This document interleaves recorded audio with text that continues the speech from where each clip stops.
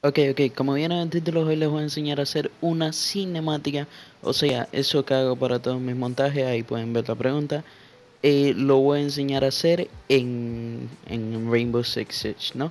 Lo primero que tenemos que hacer es crear una partida eh, eh, personalizada, ir a donde dice realismo táctico, poner un nombre, yo pongo cinemática, ok, como debería ser, tenemos que escoger el mapa que queremos, yo en este caso voy a escoger el mapa que cogí la vez anterior, café de Butsky, escogemos si queremos noche o día, configuración, ponemos donde dice cambio de papel de ataque al defensor, no, y ya aquí de por sí no tenemos que tocar más nada, no sé por qué sigo mirando acá.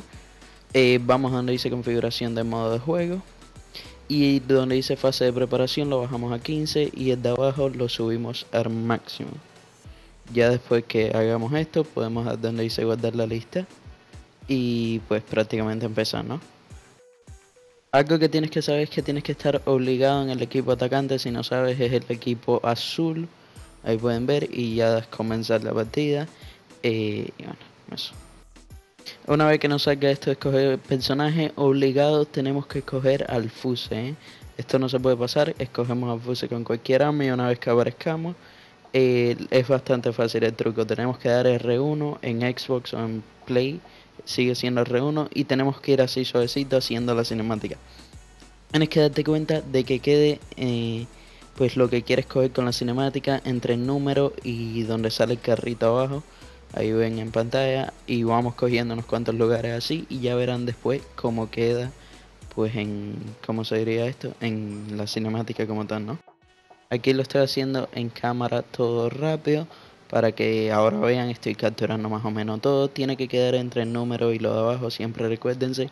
Y bueno aquí es donde viene PlayStation tiene algo que se llama Share Factory lo tenemos que descargar es una aplicación que se puede hacer eh, y este es el video que ustedes viendo ¿eh? pero bueno escogemos los clips que hicimos los cuales son estos tres. Una vez que los escogemos damos continuar. Eh, los buscamos y damos donde dice agregar plano vamos a donde están las dos barras estas y tenemos que ir a donde dice cuadrado y panorámica, como se diga, y ponerlo en 5%, ¿eh? En 105, perdón, no en 5. Normalmente creo que 100, así que sí, en 105. Eh, y bueno, una vez que hagamos esto, pues ya les voy a enseñar. Lo tenemos que hacer con cada uno de ellos, ¿eh? O sea, si graban 1000, pues hacerlo con los 1000, ¿no? Y bueno, ya pienso hacer un tutorial, tal vez, de cómo usar Share Factory si llegamos a 20 likes. Ok, y así quedaría. Vamos a agregar musiquito y así queda.